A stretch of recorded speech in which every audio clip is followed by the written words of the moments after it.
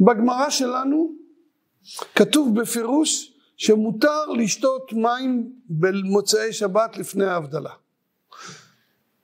כמעט כל הראשונים סוברים שבקידוש אסור, בליל שבת למשל אסור גם לשתות מים עד שאדם יקדש, אבל בהבדלה מותר לשתות מים. ככה הגמרא שלנו כותבת ככה במפורש.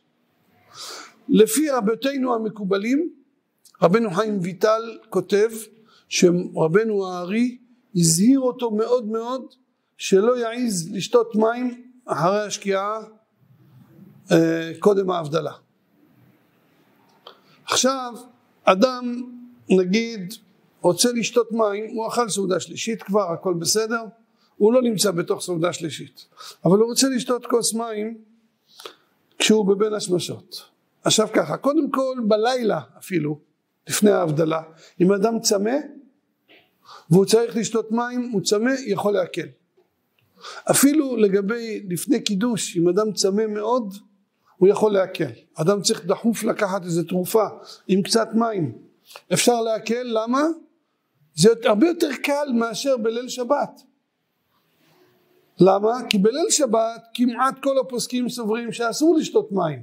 במוצאי שבת זה הגמרא שלנו וכל הפוסקים סוברים שמותר. השולחן ערוך כותב בפירוש שמותר. הנה, אסור לאכול שום דבר או אפילו לשתות יין או שאר משכין חוץ ממים מי שתחשך עד שיבדיל. אז מים מותר לפי ההלכה. אלא מה? מי שרוצה לחשוש לשיטתו של רבנו הארי אז בצאת הכוכבים שלא ישתה מים. אבל בבין השמשות יש לנו שוב כמה וכמה ספקות. קודם כל אולי מותר בכלל מים גם בלילה. אם תימצא לומר שאסור מים בלילה שמא האיסור מתחיל רק בצאת, רק בצאת הכוכבים לא בבין השמשות אם תימצא לומר שהאיסור מתחיל גם בבין השמשות שמא כרבנו תם שזה עוד לא בין השמשות. ואם תימצא לומר כמו הגאונים שמא כרבי יוסי שזה עדיין לא בין השמשות ארבע ספקות יש לנו כדי להקל לשתות מים בבין השמשות. סודה. סודה אני מתכוון למים עם גזים יש ספר אחד שכותב שבאמת זה אסור. למה? הוא טוען שיש לזה חשיבות.